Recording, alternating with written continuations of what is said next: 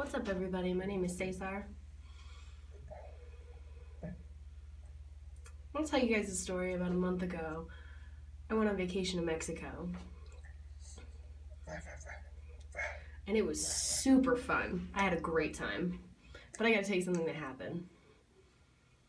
My wife and I, we were staying in a house, and I was kind of laying down, watching TV on the couch, just chilling.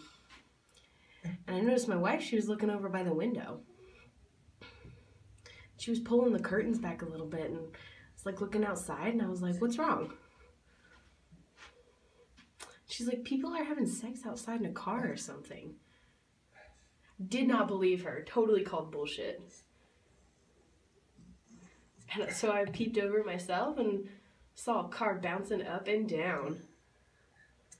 I was like, this is great. Super funny. Perfect opportunity to take a picture. So I wanted to show you.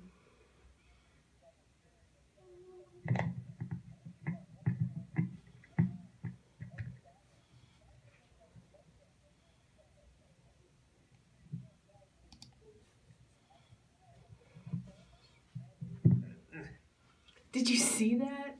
Holy shit.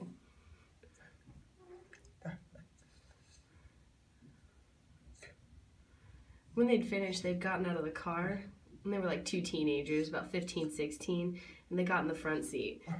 I was like, they're so young, 15, 16, are you kidding me? And I know in Hispanic culture, typically sex is done at a younger age, but still. But I was hoping they were being safe about it, wearing condoms and, you know. And normally when they're finished, they just throw it on the ground outside. I was like, especially since they're kids. So me and my wife, we went outside and checked on the ground, and sure enough, ugh, it was on the ground.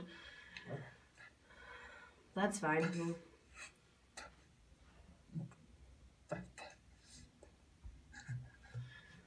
super immature, but doesn't matter. Anyway, moving on. I'll tell you, I also went fishing on there. I knew the local fishing spot, and so I went over there and. But there was no wind. It was the perfect day for fishing. It was awesome. So I took my opportunity and went fishing. Like a week before, though. Oh, man, it was cold frozen hands. It was awful trying to hold the fishing pole. Ugh.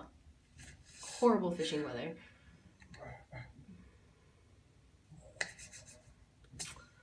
So I took the opportunity and went for it. It was awesome. I'll show you a fishing video later. Thanks for watching, you guys.